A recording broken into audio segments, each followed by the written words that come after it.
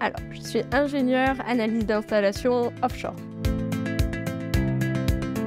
qui consiste à créer des procédures, analyser et euh, étudier comment on va réussir à poser ces pipelines et les structures au fond de la mer avec des bateaux d'installation qui sont donc des bateaux de SAIPM. Je dois définir aussi les conditions de mer pour respecter et ne pas endommager les pipelines et les structures. En ce moment, je gère une équipe à peu près de 10 ingénieurs euh, dans ce même corps de métier.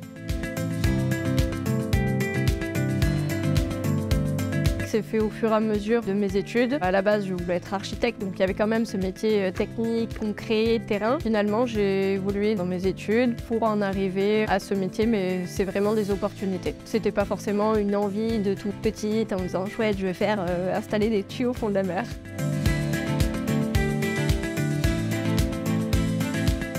À mon poste, il y a deux, vraiment deux environnements, au bureau et sur les bateaux. Au bureau, aucune différence, euh, puisque c'est un métier technique, on est vraiment euh, femme-homme, c'est une qualité, euh, un diplôme, ou, donc vraiment pas de différence au niveau du salaire.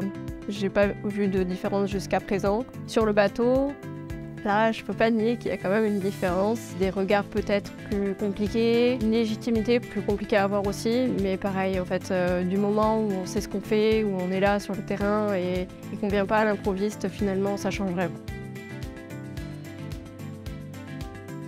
être curieuse dans ces domaines euh, scientifiques, peu importe lequel, je pense que c'est vraiment euh, un des meilleurs atouts qu'on puisse avoir. Être perfectionniste, ça peut euh, à juste milieu, mais ça a de très bons atouts de notre côté. L'indépendance, puisque dans ces milieux un peu aussi industriels, je pense qu'il faut être assez indépendant et fort pour avoir les épaules et tenir tête des fois à des personnes plus âgées, hommes ou femmes, peu importe, mais pour montrer notre légitimité.